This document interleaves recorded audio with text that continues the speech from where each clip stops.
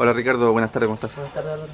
Eh, Ricardo, pasó rápido la semana y ya se viene un nuevo compromiso. Me imagino que, que le afecta a usted un poco la, la noticia que están pasando en estos momentos un día antes del partido. Sí, obviamente nos afecta mucho en concentrarnos para el partido y todo, pero, pero esperar que las cosas estén bien, salgan bien, ¿no? ¿Cómo se trabaja en la semana y cómo se prepara un partido cuando, digamos, la, la cabeza de usted está, está en otro lado?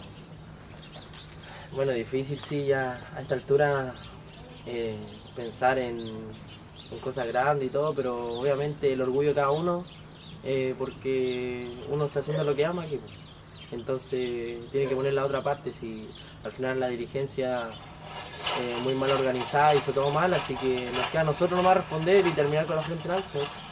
Aún no se sabe si, si se juega mañana, ¿verdad? Sí, pues esa es la, la- la incógnita que tenemos, que no sabemos si viajamos mañana a jugar contra Lota, todo se sabe más tarde, pero, pero ojalá Dios quiera salga todo bien porque yo quiero jugar y varios de mis compañeros quieren hacer lo mismo. Sí, eso mismo te iba a preguntar cómo está el camarín. Imagino que ustedes estos últimos tres partidos sí los quieren jugar.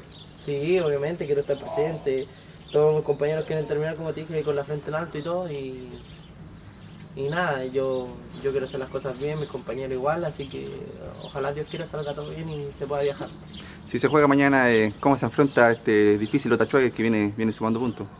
Sí, va a estar difícil. Yo obviamente creo que si pierden con nosotros igual quedan, quedan complicados abajo en la tabla y tienen posibilidad de descender, así que nosotros mañana nos vamos a jugar la carta. Ellos cuando vinieron acá no nos regalaron nada, así que nosotros no perdemos nada ahora y obviamente vamos a salir con todo. Nosotros, obviamente por mi parte, yo no voy a regalar nada, yo voy a salir igual, así que yo voy a salir con la mente de ganar, no, pelota a mí no me da nada, así que yo estoy por Deportes Linares, así que yo, yo y mis compañeros salimos con todo mañana. Sabemos que el equipo está muy reducido por el tema de lesionados, también por algunas tarjetas.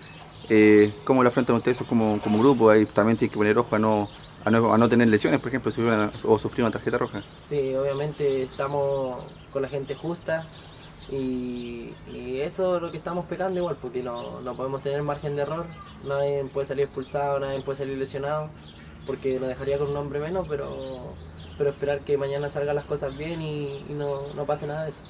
Llegar con tres puntos antes del partido, de la último partido aquí de local, que será contra Mejillones, eh, será una alegría tanto para ustedes como para, para los hinchas. Sí, obviamente, la gente que ha venido a apoyar, eh, pucha, yo me sorprendo con mis compañeros, eh, es muy lindo que la, la gente todavía siga viniendo a apoyar y todo y, y termine esto porque Deportes Linares es una gran institución, solamente, como siempre te lo dije, que la cosa dirigencial se hizo muy mal, si no Linares no estaría peleando estas cosas. Una pregunta personal para ti, ¿te sientes preparado para, para el partido de mañana, digamos, obviamente por el ambiente que se vive fuera? No, obviamente yo soy maduro en ese sentido, me siento, me siento capacitado para mañana enfrentar el partido, pese al problema que hemos tenido con el, con el sueldo y todo. Eh, obviamente lo que amo y entrando a la cancha me olvido todo. Así que me siento preparado mañana, así que no voy a, no, no voy a tener excusa de que no me hayan pagado nada, así que mañana salgo con todo igual. ¿Y qué, qué esperas mañana de tu participación? No, mañana espero hacer las cosas bien, que, que arriba nos salgan los goles.